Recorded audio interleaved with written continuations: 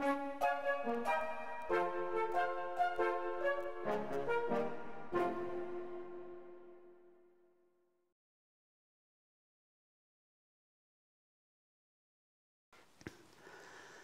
and welcome to this Sounds Like Latin talk and well done for making it this far.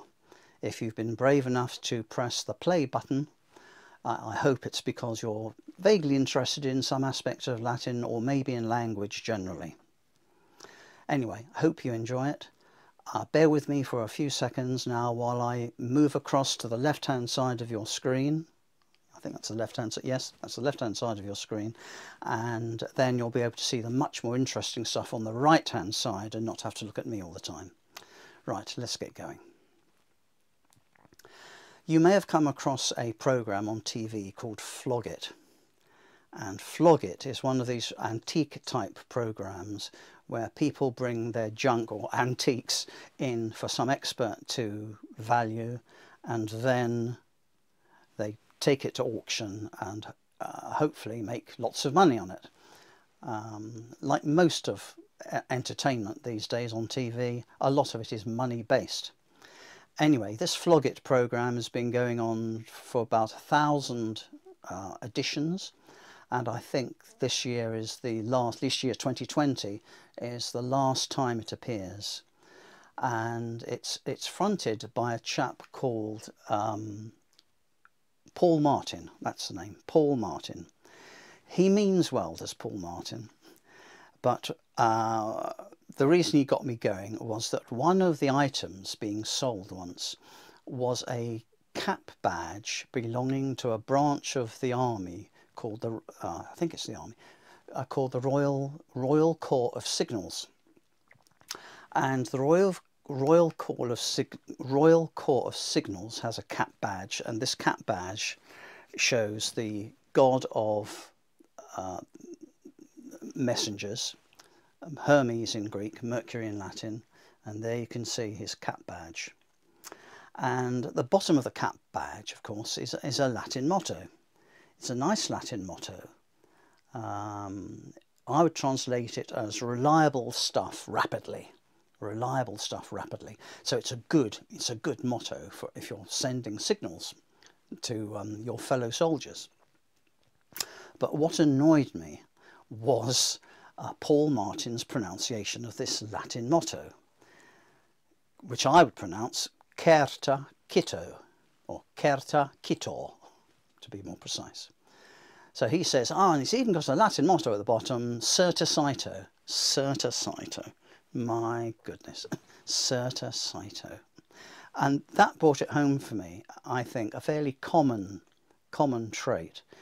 Uh, there's a, an assumption among those who don't know any Latin that because the Latin alphabet was more or less the same as the one we use today, you can pronounce it more or less any, any way you like, certa cito. Uh, whereas I hope some of you will know that in Latin, C is never pronounced like an S. Uh, so the word for hundred isn't centum but centum.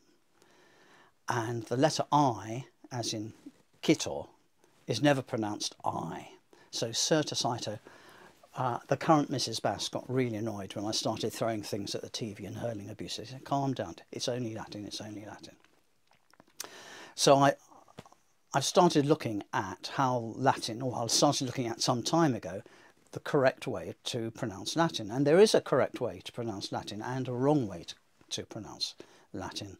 A favourite red herring in class is, "Sir, how do you know? How do you know how Latin was pronounced? Now, they didn't have tape recorders or MP3 players or whatever the technology is back then. How do we know?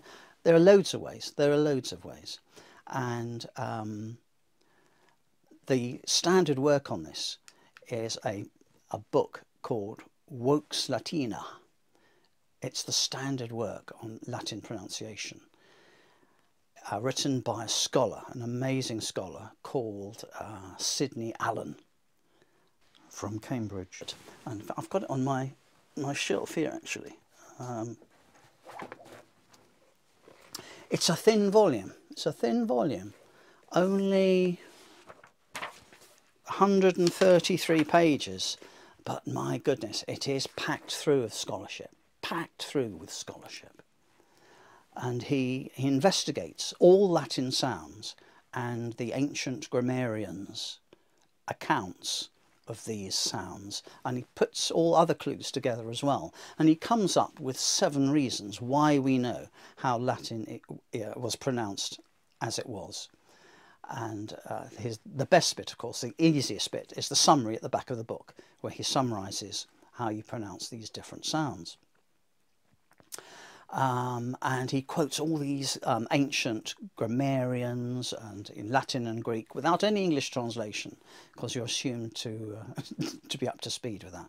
So it's an amazing it's an amazing book, and uh, he's done a companion volume called Vox Graeca, Vox Graeca, as well on how ancient Greek was pronounced. Uh, so we're going to look at a bit of this uh, now, and I'm going to start with Felixstowe Market. Felixstowe used to have a market on a Sunday morning, and all all life would be at Felixstowe Market. And um, we've had some happy mornings. It's it's made way for a modern development now, which isn't hasn't opened yet, but um, it'll come. Anyway, Felixstowe Market, and you get people shouting out. And the interesting thing is at Felixstowe Market, at the fruit and veg stall like this one, is you don't get the tradesman saying, Oi, get your apples here, get your apples here. He says, get your Cox's pippins here, get your Granny Smiths here, not get your apples here. And th that vaguely takes me to where, to where we're going. Uh, these are figs. These are figs. but not just any figs. They're figs which were imported to the Roman, the Roman world, the Roman Empire, from a city in Asia Minor, we now call Turkey, and this city is called Caunus. Caunus. So these were Caunian figs. And in Latin, you sell things in the accusative case, the object, the receiver case. So Caunian figs, get your Caunian figs here, would be in Latin Cauneas. Cauneas. Get your Cornian figs here. Now, this chap, this good looking chap, was the sort of um, oligarch, one of the oligarchs of the late Roman Republic in the first century BC. His name was Marcus Licinius Crassus, and he was he was absolutely dripping rich. And one day, in I think it was 55 BC, something mid 50s BC, he was on the east coast Italian port of Brundisium, Brindisi in modern parlance. And Brundisium, he was about to embark on a campaign in the Middle East. He was setting sail with his fleet and army from the port of Brundisium to Syria. Uh, Brundisium was a sort of Dover, the Dover-Calais route across to Greece from the east coast of Italy was Brundisium. And as he left his home, he came across in the street outside, just before he was leaving, um, a seller of figs, a market stall filler. And the fig, the fig seller was saying, Kauneas, Kauneas, and the story goes that he misheard this, or he should have misheard it, as kauneas, which is the Latin for beware, beware of going, beware of going, don't go. So some people took this as a warning that he shouldn't go on this expedition to the Middle East in Sicily. And the, the, from the point of view of the pronunciation, of course, the kauneas Carwe Neas is evidence that the V in Latin isn't pronounced as a V in English, more like a W. And the passage we've got here is from Cicero, from his work De Divinatione on divination, uh, talking about um, omens and fortune telling, that sort of thing. And the, the passage here says that uh, when Crassus was embarking his army at Brundisium, someone selling um, figs imported from Caunus were kept on shouting Cauneas, Cauneas.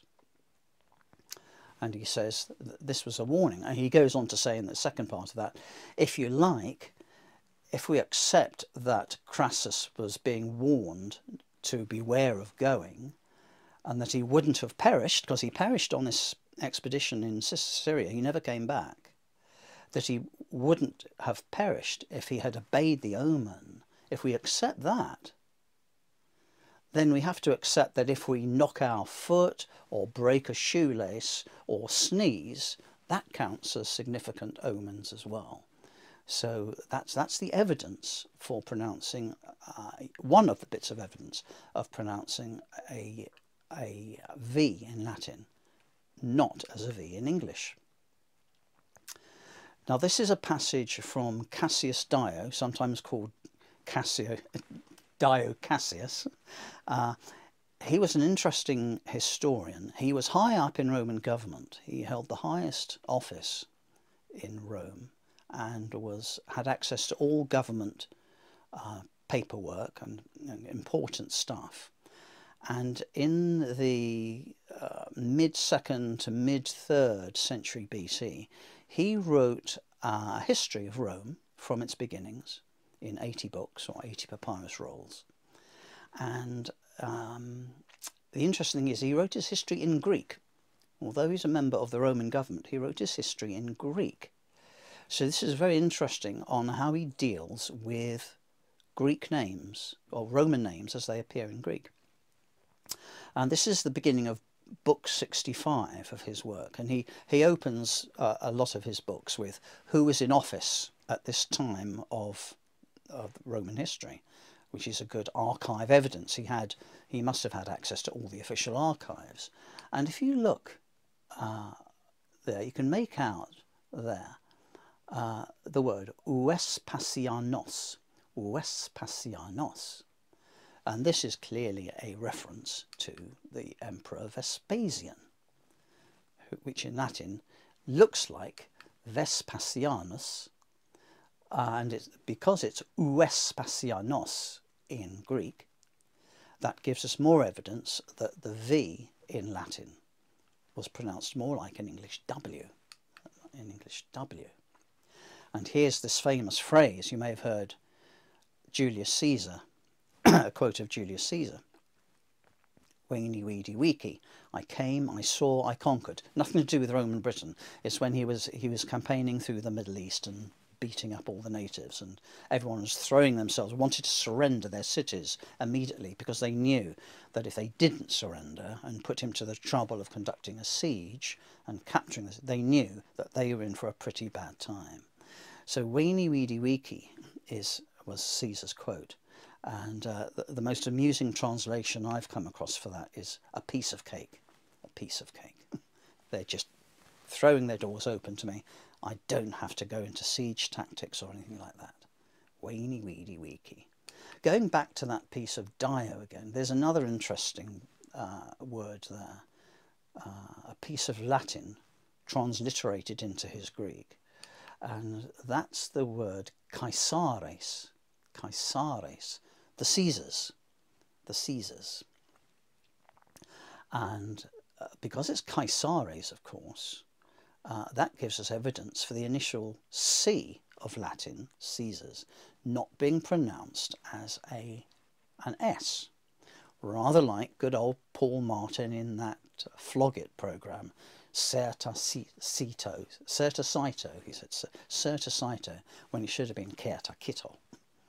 Uh, so there's evidence that this chap, Cicero is his traditional English name, was actually pronounced in ancient times as Cicerone. Cicerone, or Cicero.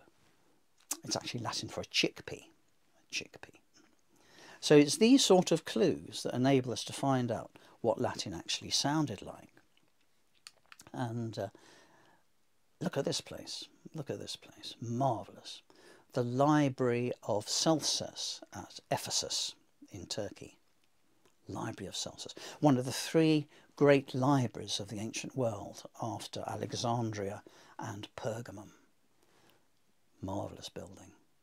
And the reason I've mentioned I, I go into libraries because we associate libraries in modern times with being places of quiet and hush. But in fact, libraries in ancient times would have been noisy places uh, because um, the Romans were seemed to be incapable of reading in silence like we do today. We take reading in silence for granted.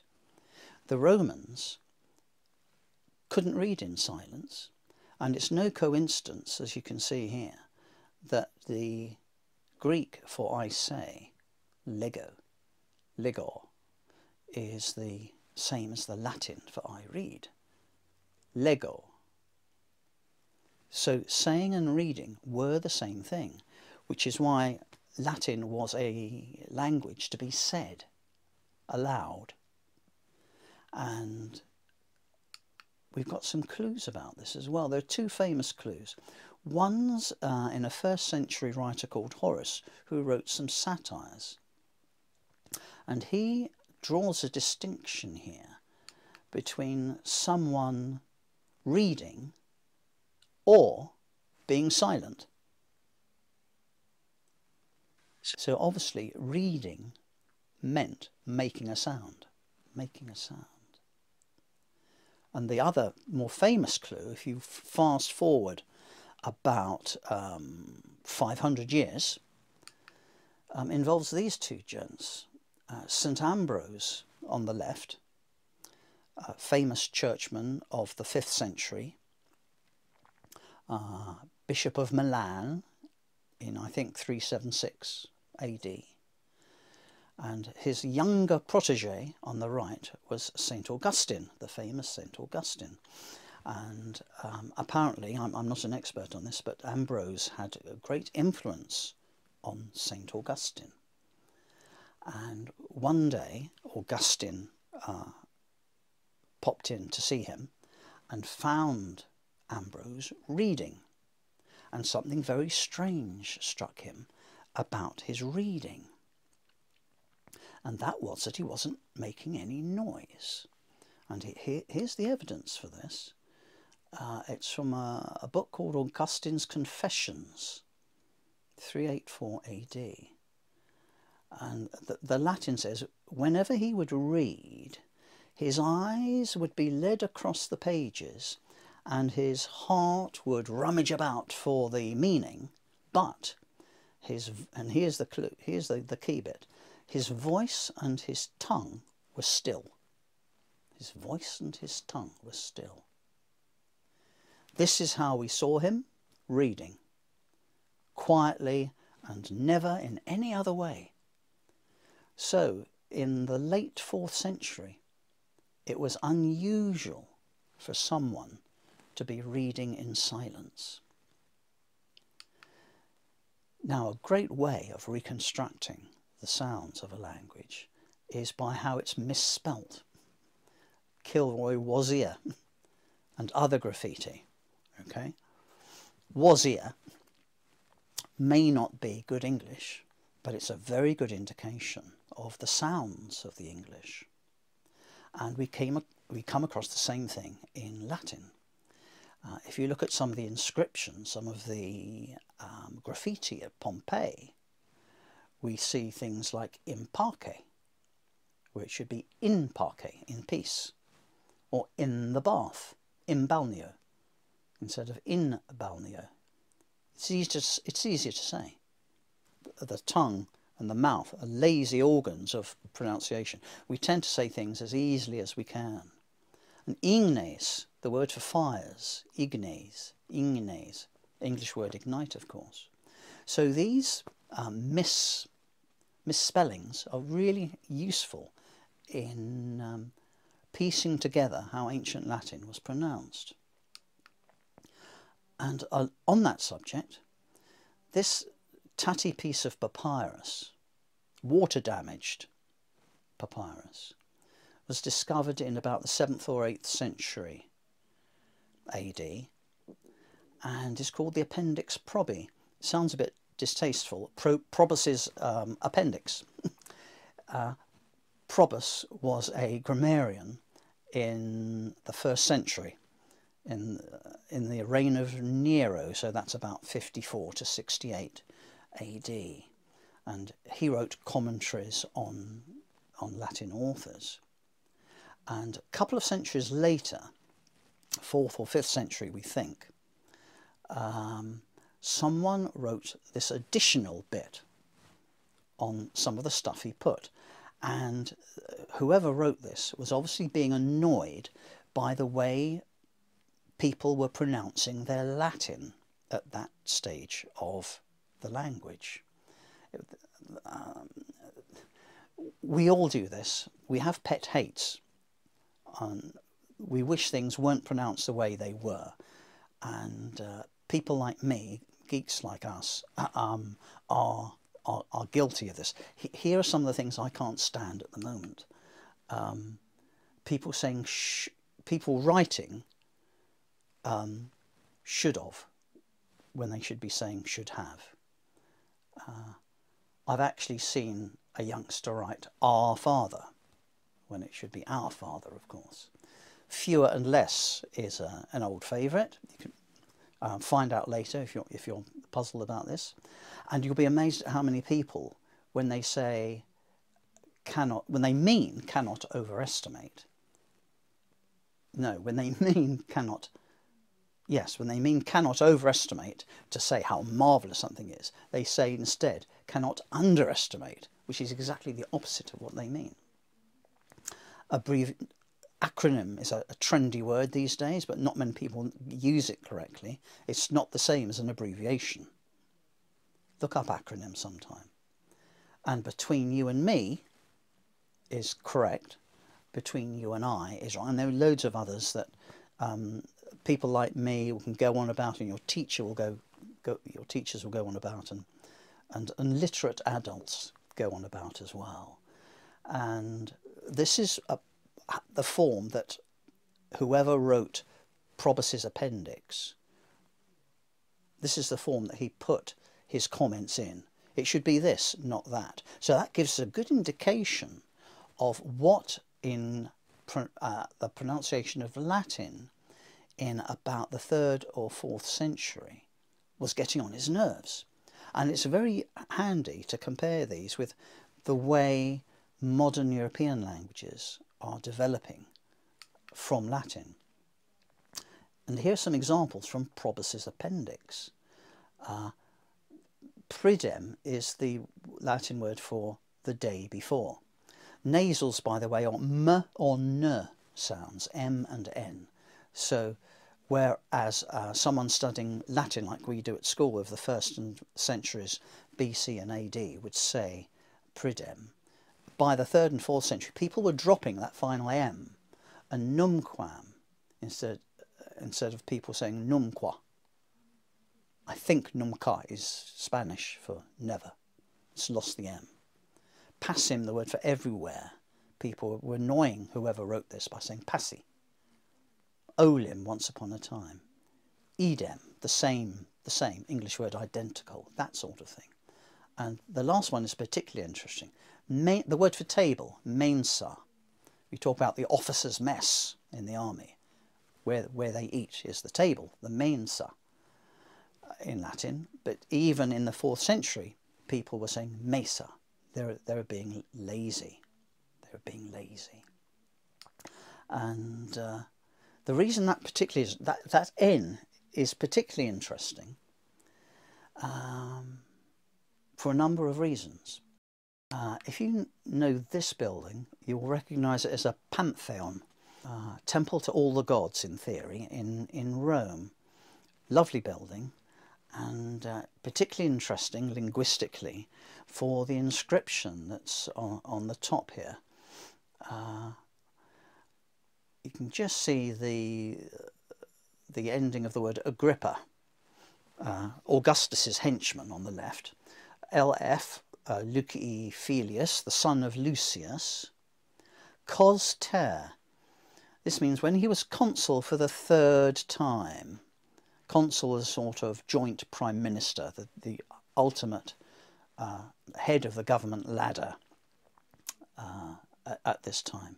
So when he was consul for the third time, uh, that dates the original to 20, I think 27 BC, but the actual modern pantheon is, is more recent than that. But the interesting is that the abbreviation for consul, consul in Latin, consul, C-O-N-S, is cos, cos. So you've got, you've got the disappearing N there in the middle of a word. So that has repercussions in modern languages, uh, particularly in, in Latin. Apart from cos and mes, I give cos and mess. you've got the, the word for um, spouse, wife, sposa, and uh, isola in Italian, where they've come from Latin and that N has disappeared. Now, here's, here's a word which will be close to your heart. Now, I don't know how you pronounce this, but I pronounce it chocolate. I love Cadbury's chocolate and chocolate Easter eggs. Chocolate Easter eggs. Notice that you don't pronounce the middle syllable. You, I've heard no one say chocolate, chocolate. And in the same way, medicine and lovely. This, this is called unstressed syllables after a stressed one disappear. So chocolate, the first syllable is stressed so much that the short syllable coming after it disappears. Chocolate. No one says chocolate. Chocolate. Chocolate. This is happening at the moment to medicine. Medicine. Some people say medicine. I tried this out at a conference last year. And I think everyone has agreed on chocolate. Some of the delegates there clearly still pronounced medicine. Medicine. He's a doctor of medicine. And lovely. Lovely is going the same way. The first syllable of medicine is so strong that the I is dropping out. And the first syllable of lovely is so strongly stressed that the e is left out as well. So that's disappearing. And the same things happened in Latin. A stressed syllable followed by especially a, uh, a short unstressed syllable, that unstressed syllable falls out. So the word for mirror, going back to Probus's appendix again, what was annoying whoever the author was, uh, was drawing attention to the fact that these unstressed syllables are disappearing. Speculum, not speculum. Articulus, not articulus. English word article, which just means a little joint. Angulus, corner. Calida, not calda. Here we see again the French and Italian uh, languages, the early stages of chaud in French and caldo in Italian, and froid in French, frigidus, refrigerator, and viridis, viridis, the origin of um, well, verdant is the nice English adjective for greenery, and vert, of course, in French for green. In fact, if you wanted to make up a verb for I am green and caring for the environment and a fan of recycling, if you're making up a word for green, to be green, you could do a lot worse than what this company have done and name themselves Viridor, Viridor. Other things noticed in Probus's appendix is the confusion between B and V. B and V. So the word for commoners, plebes, uh, was in, in his time, whoever he is, whoever he was, was being pronounced as plevis. Plevis. And, and this too has come through to modern languages. Mirabilia, amazing things, marvellous things gives you these words, a merveille in, in French and maravilla and maravilla in Spanish, where you've got that B turning into a V for some reason. So there's all sorts of ways you can uh, trace back how Latin was pronounced. But it's the sounds of Latin which always have always attracted me um, ever since I first met Latin poetry in about 1968 when I was introduced to um, what most people would call the greatest Latin poet, Virgil.